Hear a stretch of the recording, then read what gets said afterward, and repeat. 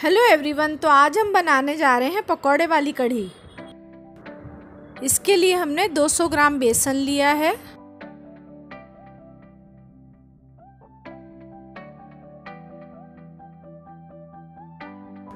इसमें हमें स्वादानुसार नमक, हल्दी और हींग डालनी है।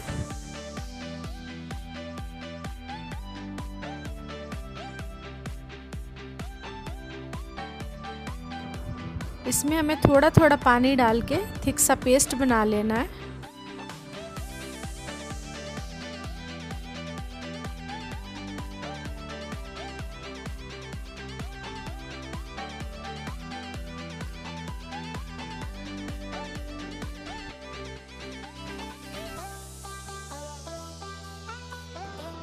इसको 15 से 20 मिनट तक लगातार फेंटते रहना है।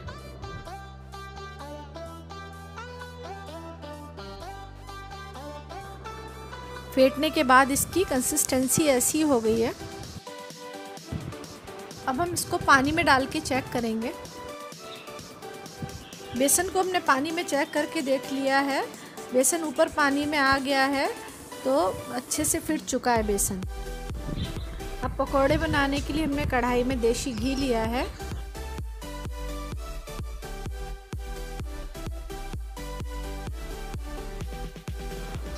अब हम इन पकौड़ों को धीमी आँच पे तल लेंगे।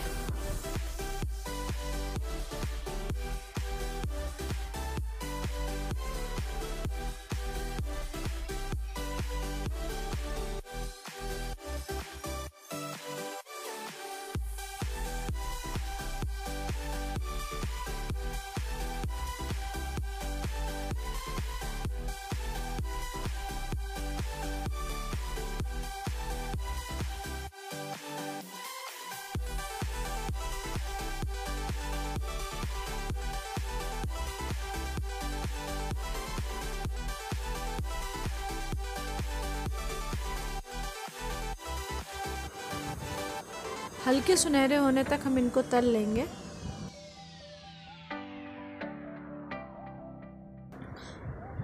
देखिए कितने सॉफ्ट बने हैं। मैंने इसमें कोई भी बेकिंग सोडा वगैरह यूज़ नहीं किया है।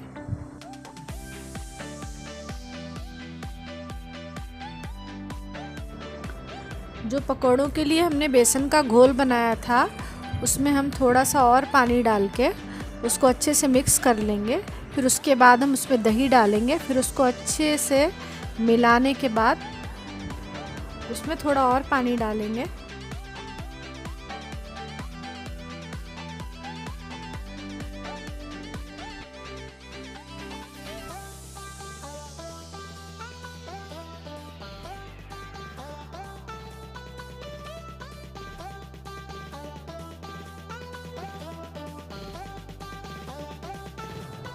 कढ़ी बनाने के लिए हमें कढ़ाई में एक बड़े चम्मच घी लेना है और आधा चम्मच हींग उसमें डाल देना है। आधा चम्मच हल्दी को पानी में घोल के उसी घी में डालना है। फिर उसको थोड़ा सा भून लेना है।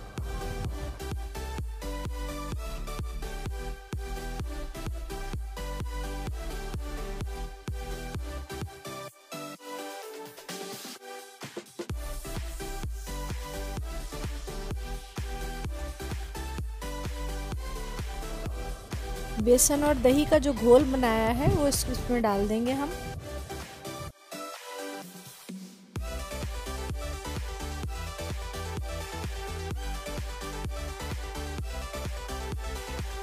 उसके बाद हम उसमें एक गिलास पानी और ऐड करेंगे। फिर उसको लगातार चलाते रहेंगे जब तक उसमें उबाल ना आ जाए।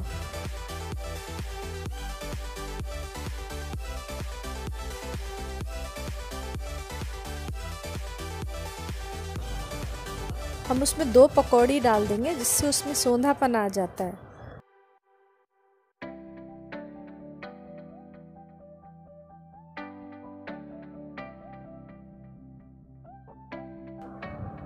उबाल आने के बाद स्वादानुसार नमक डालना है।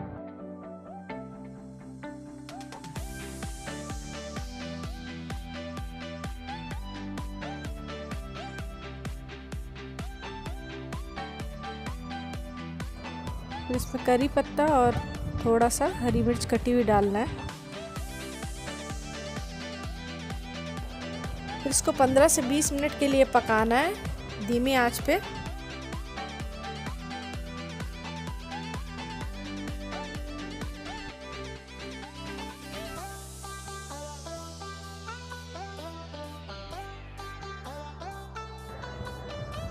कढ़ी अच्छे से बन गई है, पक गई है। और उसमें अब हम पकौड़े डाल देंगे। पकौड़े डालने के बाद भी उसको दो से तीन मिनट के लिए धीमी आँच पे पकाना है।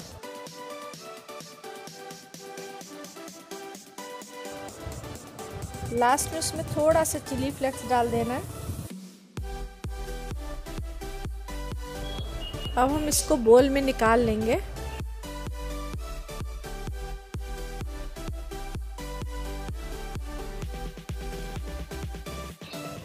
पकौड़े वाली कढ़ी बनके तैयार है। अगर आपको ये रेसिपी पसंद आई हो तो हमारे चैनल को लाइक शेयर और सब्सक्राइब ज़रूर करिएगा।